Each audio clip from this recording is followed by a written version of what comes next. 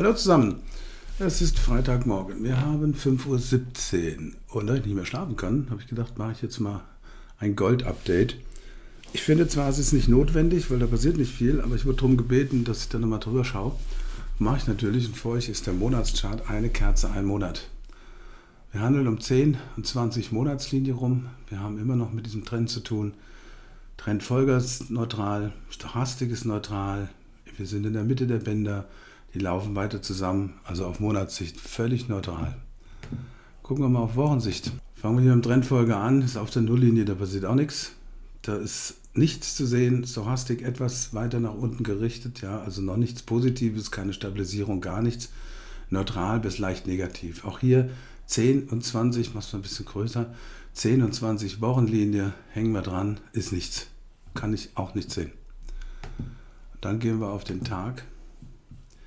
Und das ist im Prinzip genau das gleiche Spiel. Wir haben hier diesen False Breakout, sind wieder reingekommen. Das ist nicht viel, das sind ja nur 100 Punkte, das sind gerade mal 5%. Das ist, ich finde, das ist keine großartige Bewegung. Aber wir sind wieder hier in dieser lang gezogenen Range, die wir jetzt schon haben seit Juni diesen Jahres.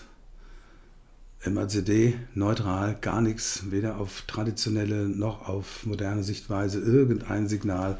Oszillator knapp unter der 50, auch im neutralen Bereich. Es ist kein frisches Signal. Schauen wir mal zu den Bändern. Die Bänder sind relativ weit. Wenn ich das jetzt mal, mal historisch betrachte, ja, das hier ist so ein normales Band von der Breite her, sowas hier. Ab und zu haben wir diese Eier rein, bei einer großen Bewegung waren, aber da ist nichts. Das ist also, die gehen auch weiter zusammen, deutet darauf hin, dass die Volatilität sich weiter reduziert. Das letzte Mal hatte ich geschrieben, ich erwarte, das war, wann war denn das? Das war am 23.11. Ich erwarte einen Range Trade, da waren wir hier und das ist auch weiterhin eins. Wir haben ein bisschen mehr Risiko hier bis zum unteren Band als Potenzial, weil ich habe einfach keinerlei positive Signale, gar nichts.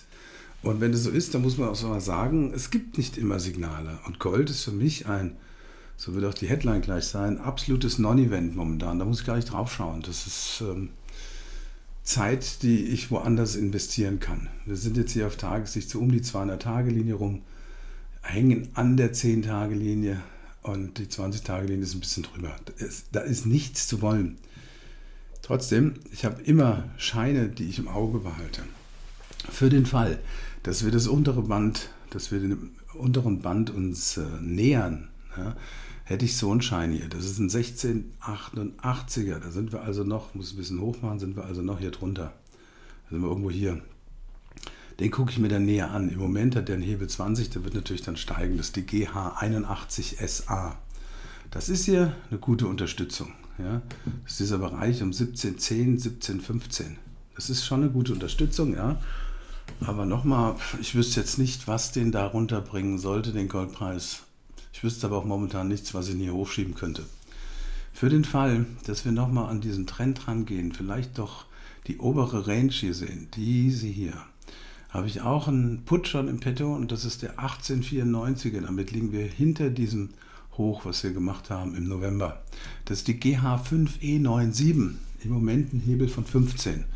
Aber ich äh, sehe nicht, dass hier irgendwie was Nennenswertes passiert. Ich habe zumindest keine frischen Kauf- oder Verkaufssignale. Deswegen ich sage, das bleibt ein Non-Event. Ich gucke da nicht drauf. Ich wünsche euch ein Happy Trading und fette Beute. Bye bye.